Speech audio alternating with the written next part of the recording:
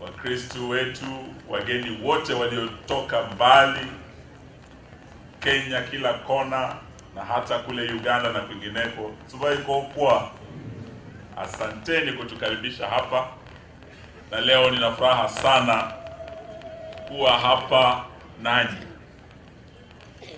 na nataka niwapongeze sababu miaka kumi na mbili iliyopita wakati tulipata hii application ya usajili wa dini ya Roho Mafuta Pole ya Afrika, nikiwa waziri wa haki, niliuliza mbona hili jina ni ndefu sana, mbona haikiitwa kama ile dini ya msambo ama dini ya roho? Hii ni dini ya roho, tena ni ya mafuta pole, na tena ni ya Afrika.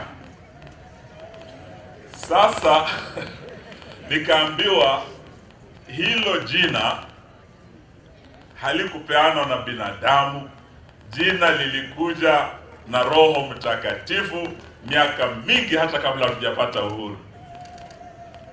Kwa hivyo mkisoma historia hii ukurasa wa kwanza mtaelewa ya kwamba hii dini ilianzishwa mwaka wa 1940 through the Holy Spirit. Lucas Cage alipata maono na jina hili alipewa kupitia Roho Mtakatifu.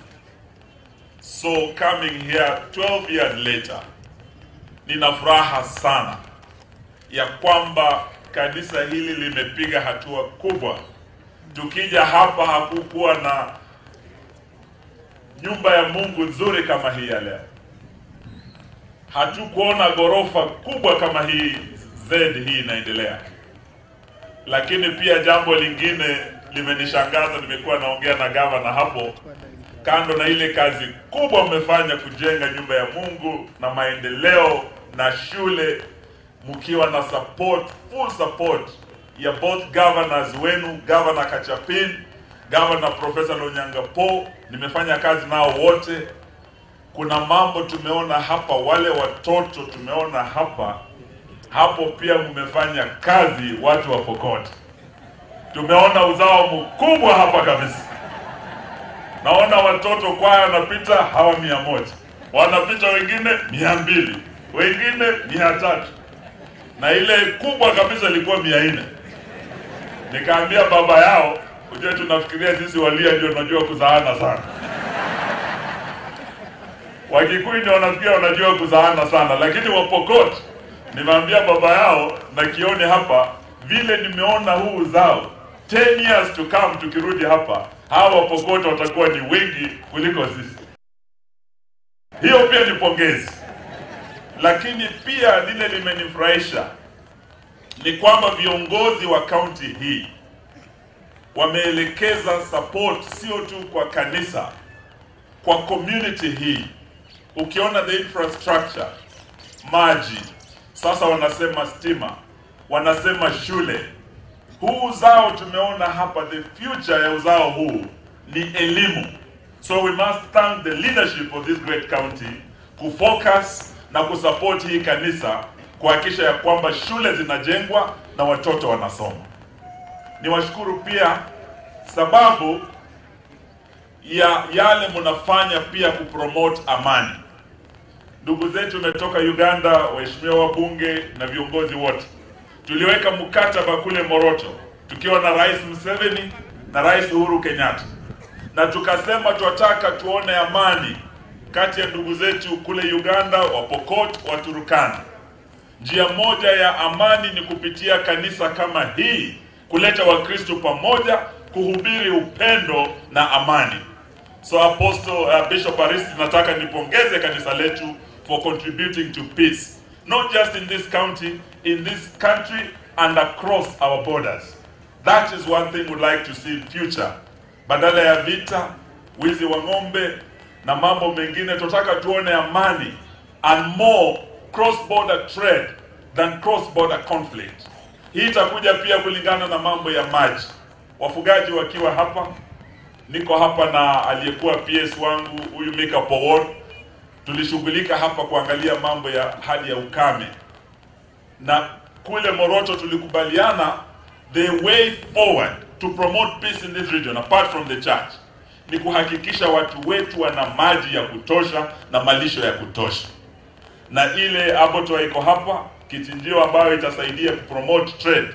That is one way ya kudevelop this region, na tulisema tujenge dams sio kubwa kama hii uh, Sioi Murunyi, dams ndogo tatu tuliambiwa tujenge na Rais Uhuru Kenyatta nikiwa waziri wa maji hapa, hii ya Kases, tukajenga ingine kule na Kwetom, Turkana County, ya tatu tukajenga Marsabit.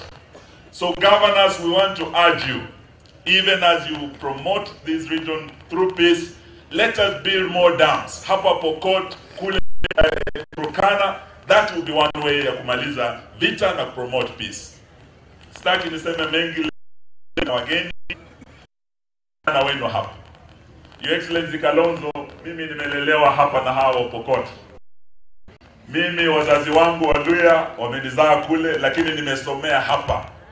Ndugu yangu ameongea hapa wa, ya kwamba kuna rekodi hapa haijavunjwa. Wote walivunja rekodi, wamesoma bana, na iko kijana anatoka kule kwa Lochak Seker, huyo kijana ndiye alivunja rekodi ya hayati wa Malwa kijana Cheoyet I think it was five years ago, si ndio? So nasema hongera for promoting education, lakini pia tuseme, sababu wageni wetu wako hapa, tuwape nafasi waseme nani. Mumenipa ile credit kubwa kama kijana wenu, kama Minister for Justice, lakini pia hii kazi ilifaulu sababu nilikuwa na wadosi wangu.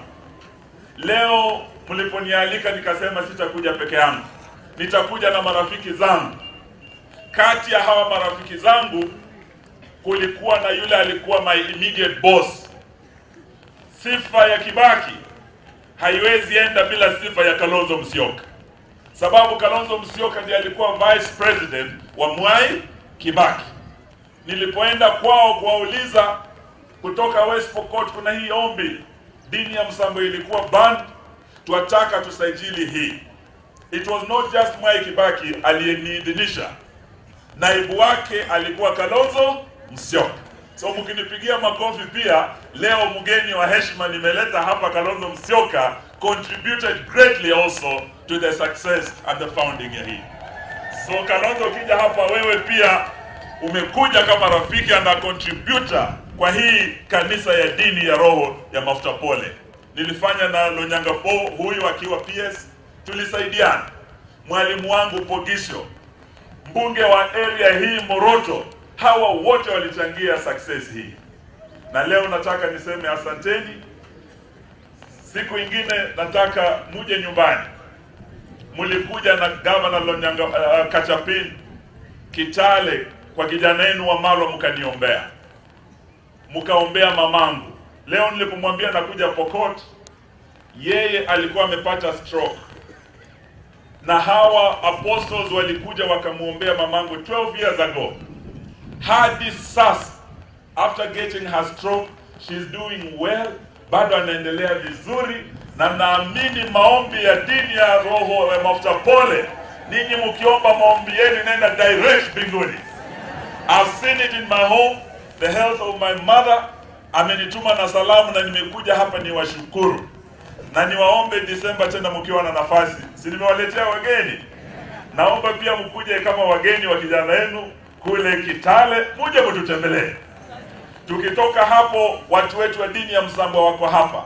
Tumeongea na Mheshimiwa Kalonzo ya kwamba tukimaliza Kitale pia nataka twende Kimilili hadi kule kwa mzee ndugu ya Lucas Cage anaitwa Elijah Masinde.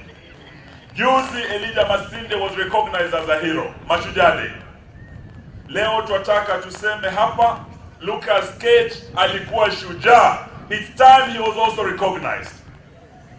Na sisi Moroto tumesema sisi tuko kwa upinzani, but we are government in waiting. Kama hii serikali haitatambua Lucas Cage kama shujaa, sababu hii mashujaa day hawakumkumbuka. You only have two shujaa days. Kama hamutamkumbuka ile serikali inakuja ya Wamalwa na huyu Kalonzo na Kioni na baba yao we recognize Lucas Cage as a hero of the Republic of Kenya. Hiyo siku iko inakuja, na hayo mkikuja nyumbani nitakuja niwaibie siri kidogo, sawa sawa. Mwaka mpya tunafu- tunafungua ukurasa mpya, kuna muungano mpya unaundwa, kuna serikali mpya inakuja. Mimi kama kijana yenu siwezi taka Wapokot wawe nje ya hiyo serikali. Tungependa bendera irudi hapa West Pokot. Tumekuwa na mawaziri wawili Lotodo na mwalimu wangu huyu Pogiso.